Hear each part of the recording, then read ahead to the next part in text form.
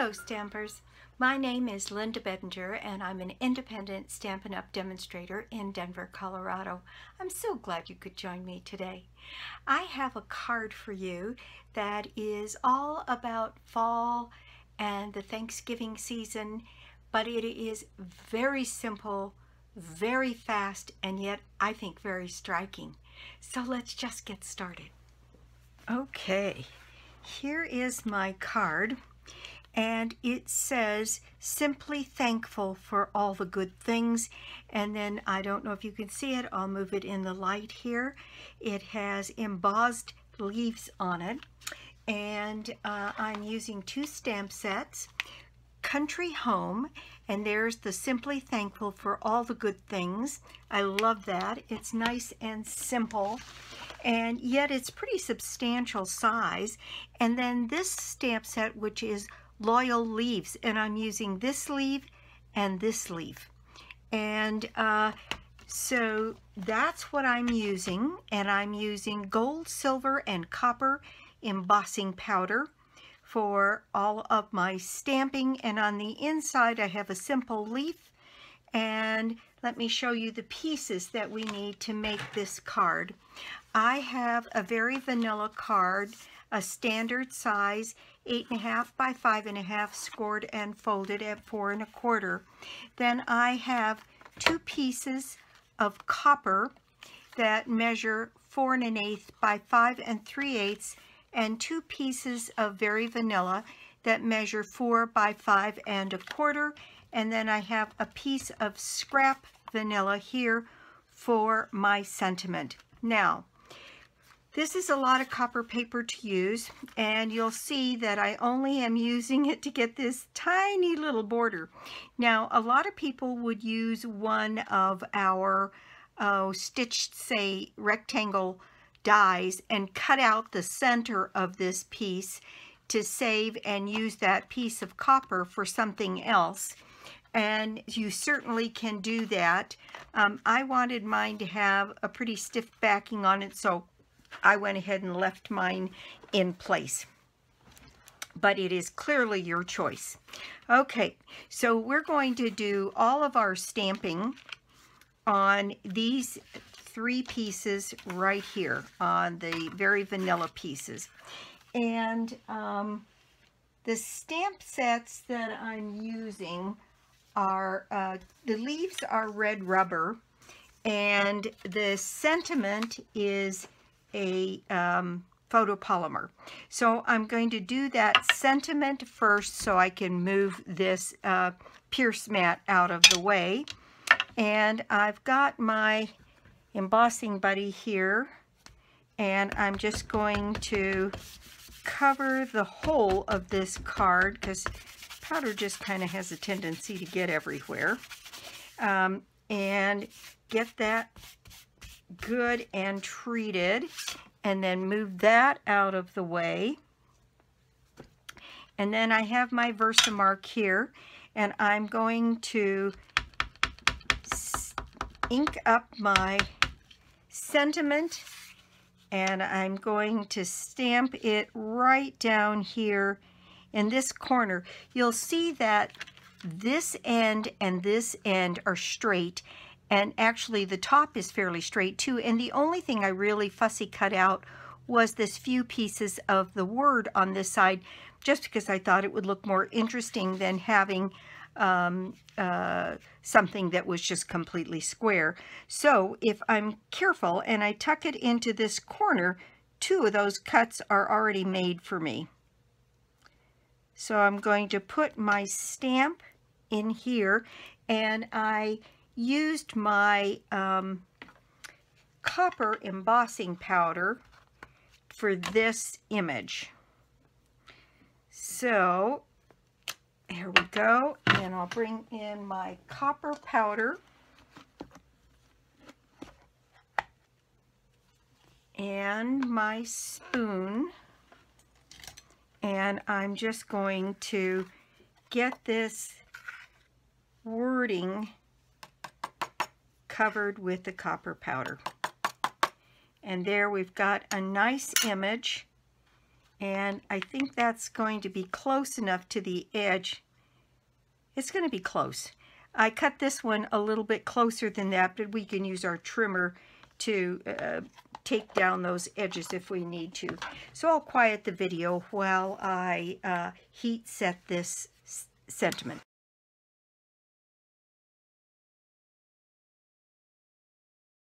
Okay, there we go. I've got that down.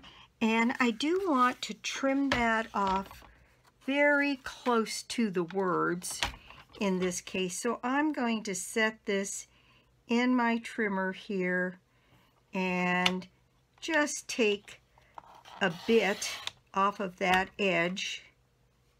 Well, maybe a bit more than that. I really want this cut quite close to the edge of the words.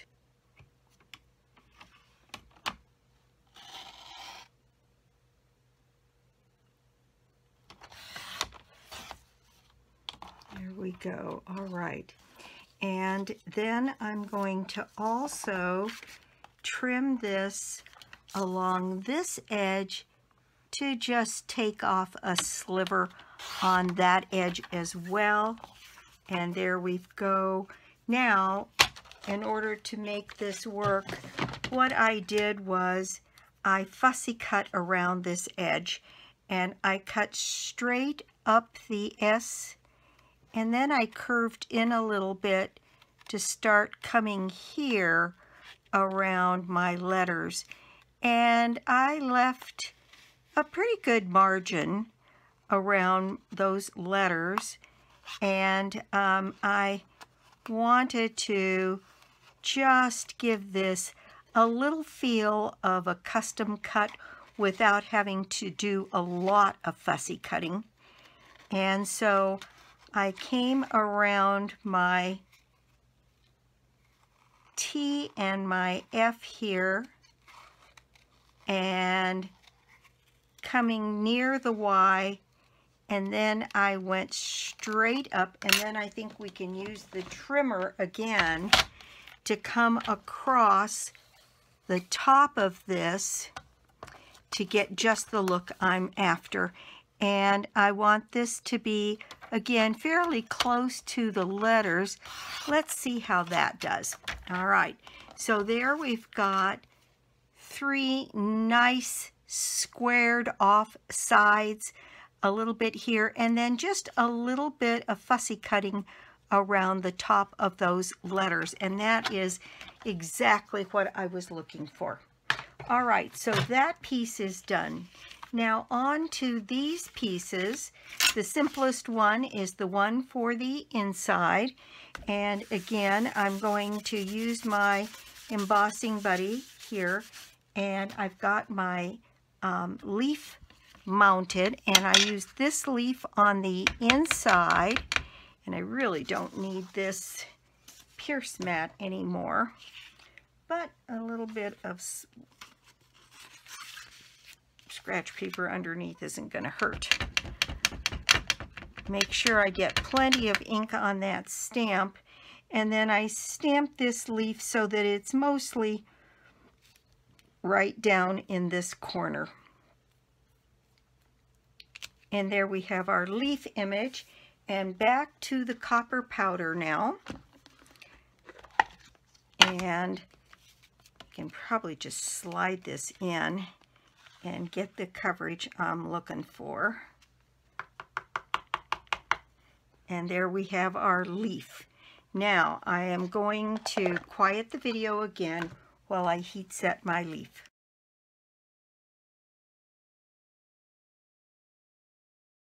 Okay, that piece is now ready to go on one of these pieces of copper and go to the inside of my card.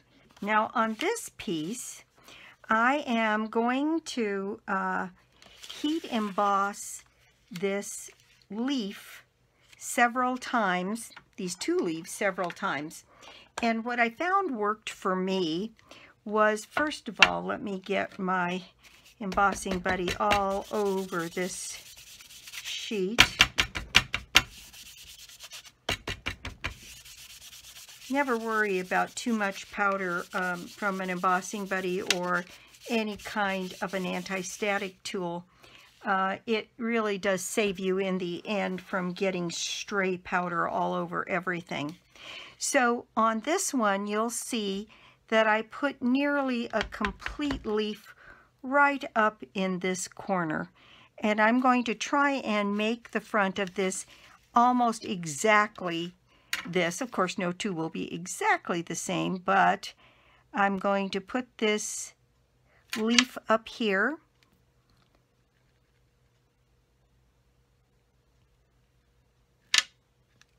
And then I'm going to put one right down here off the page a bit.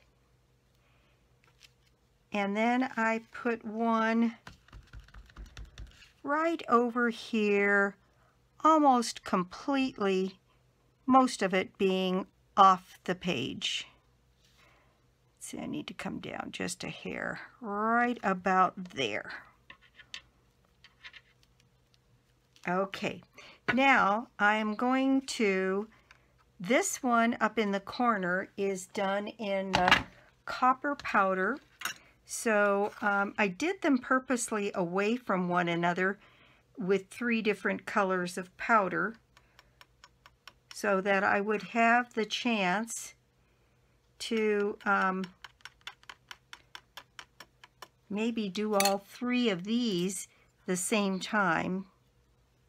And I've mostly got all of the stray powder away from that one. So I'll move that out of the way. And then this one over on this side is done in the gold embossing powder. So I have my gold powder here and I'm going to hold this gingerly from the side and give some gold powder on that leaf and use my brush. Looks like I got just a little bit of stray powder. A couple places there. All right, very good. And now the last one, which is done in silver powder, which I'm going to put right down here in this corner. And I will put my powder on that.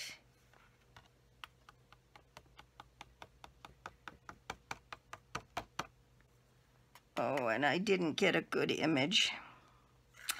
Let's see if I can fill in any of that. Oh, yes it did. Oh, good. Just didn't get enough powder on it. Wonderful. Okay, so now I'm going to quiet the video and heat set these three leaves.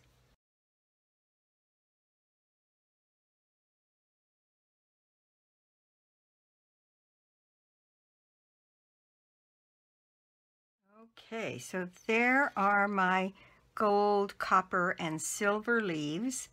And now I'm going to come back and use my other leaf, this beautiful long leaf, and put three images of this leaf on the card as well.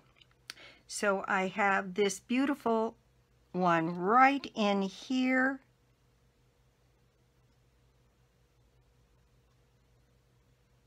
which I'm going to set down.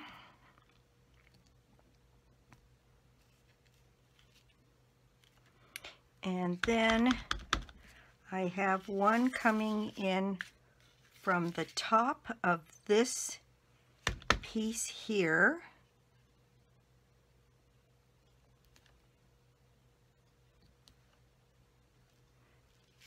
And then I have one coming up from this edge over here. There we go.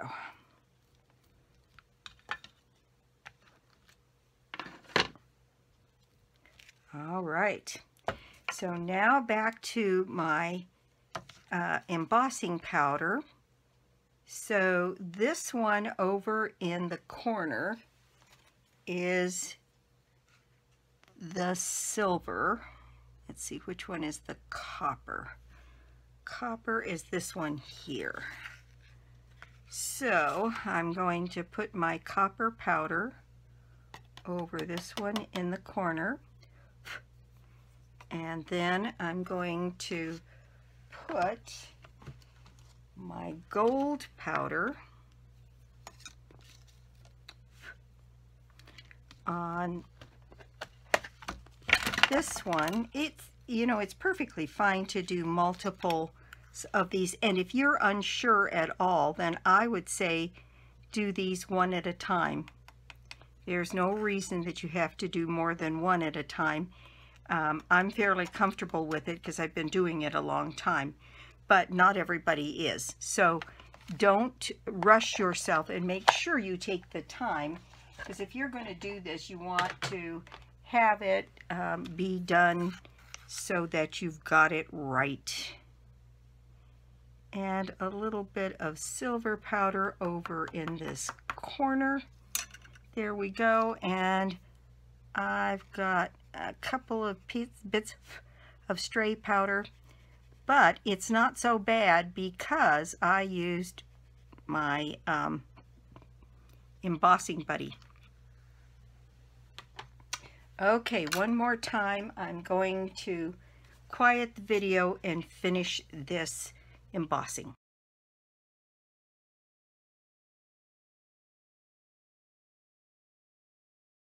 There we go. Isn't that gorgeous?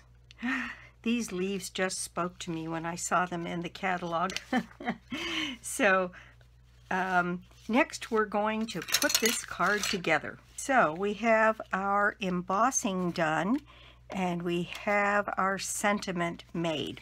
So all I really need to do is using my seal to go ahead and mount these cards on the back of this copper piece.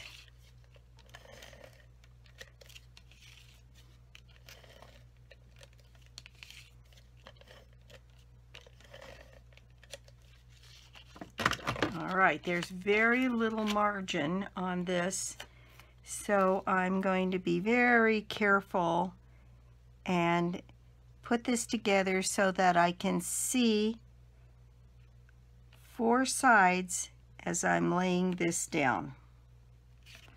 And then that last side should just come together. Very good. All right, now the same thing with this one.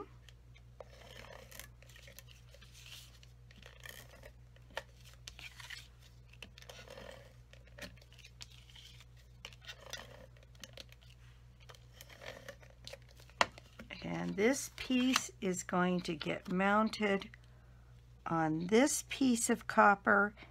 And again, I'm putting it down so I can see this side, this side, this side, and this side. And the rest should take care of itself. There we go. All right. And now we have our card base. And the only thing that's raised on this, I suppose you could um, emboss a couple of these and fussy cut them out, although there might be a die with this one, I can't remember, but uh, or fussy cut them out and raise one or two of them. I think that would be lovely as well, but I didn't see the need. This has so much pretty stuff on it that I'm going to go ahead and get my seal put down on the back side of my copper here and make sure I've got that opening the right way. You've watched me do that where I put it on upside down so you learn to check. And again, when I put these in place, I really am looking at four sides. Then you should be able to just drop it in place and then it's all done. Now this one is the next one we're going to put into place. And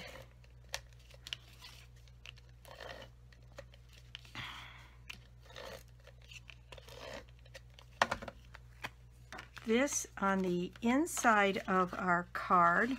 These are going to be kind of fun to send because I get to put whatever message I'd like on the inside. Simply thankful for all the good things and one of the things I'm thankful are some of these lovely, wonderful people I'm sending some of these cards to.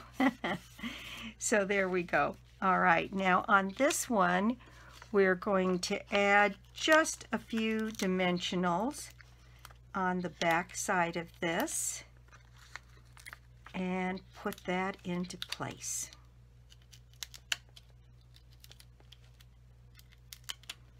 And I thought that mostly out of the way right down here so that some of both of my leaves on this corner okay there we go. That is all there is to it. It it has a big impact because of the embossing and yet it was a pretty simple and fast card to put together. So that's my project for the day. Thank you so much for stopping by my YouTube channel today. I do so appreciate it. And if you don't already have a Stampin' Up! demonstrator, I'd love to be your demonstrator. Or you could join my team.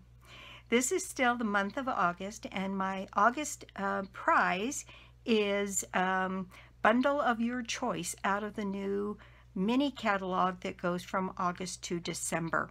And the only thing you have to do to put yourself in my drawing is put an order of any size on my in my store, lbedinger.stampinup.net, or you can get to it through my blog, www.inkandingenuity.com. So again, that's it for me. Um, and I'll be back soon with more cards, more projects, and more tips. Bye!